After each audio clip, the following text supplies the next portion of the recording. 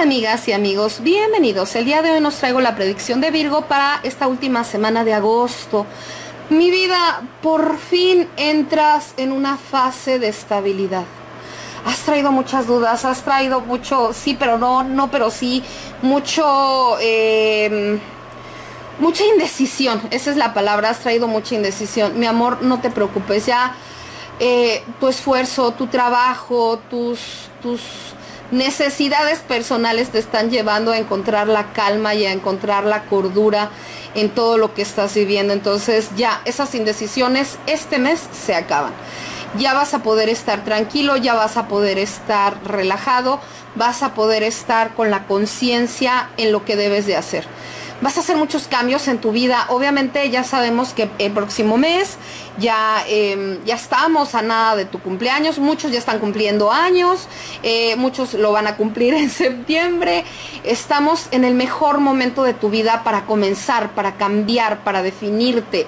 ¿Qué quieres hacer con tu vida? ¿Hacia dónde te quieres ir? Em, hacia dónde te quieres enfocar, quieres cambiar tu giro laboral, quieres cambiar de pareja, quieres cambiar de rutinas, salir de tu zona de confort, estás en el mejor momento de tu vida para hacerlo, ¿ok? Eh, acuérdate, mi amor, que después de tu cumpleaños es cuando vas a estar muchísimo mejor energéticamente para hacer los cambios que deseas.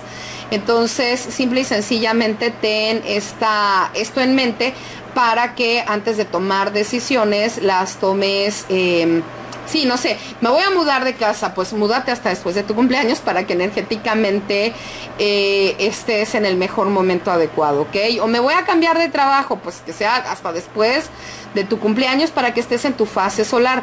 Acuérdate que ya les hice un video de los 54 días de cada signo zodiacal en donde, en donde cada uno tiene 54 eh, días solares y 54 días lunares.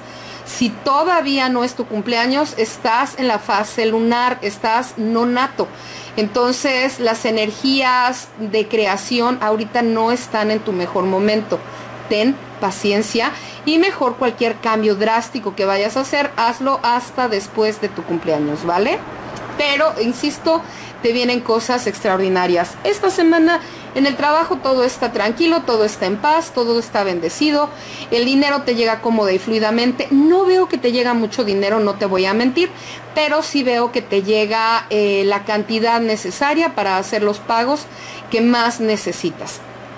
En el amor las cosas están cambiando, tu mente está cambiando. En muchos casos las parejas se van a fortalecer y se van a, unir y estrechar de una manera extraordinaria. En muchos otros casos, honestamente, veo que van a haber muchas rupturas y que van a haber muchos eh, comienzos nuevos. Está bien, mi amor. Mira, cuando uno termina una relación, abres la puerta para que muchas cosas nuevas, muchas cosas favorables lleguen a ti. Si tú no eres feliz, si tu pareja no es feliz contigo, qué mejor que los dos se den ese regalo de una nueva creación, de una nueva etapa mutua, ¿ok? Que estar en pareja no es una manda, no es este para estarnos torturando. Claro, por eso primero que nada tienes que ser muy coherente con que realmente sea la mejor decisión y después no te me vayas a andar arrepintiendo y vayas a perder al amor de tu vida simplemente porque mm, se acabó el fuego o entramos en monotonía que todas las relaciones de todo el planeta entran en esas fases eh, de monotonía, ¿vale? Entonces debemos de ser muy, muy sabios, muy juiciosos y antes, mi amor, antes de tomar cualquier decisión, sé inteligente, medítalo, reflexiónalo para que sea una decisión bien concentrada, ¿vale?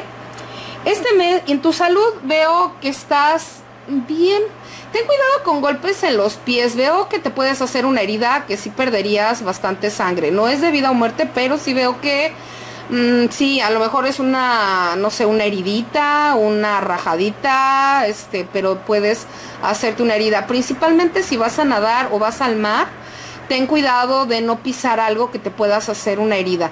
Pero independientemente de eso, cuídate mucho, ¿vale? Este mes, mi querido Virgo, me gustaría mucho que tengas un cuarzo morado contigo, una matista de cuarzo.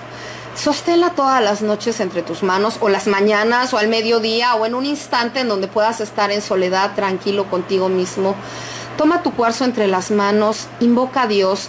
Acuérdate que Virgo está bajo la regencia de la Virgen.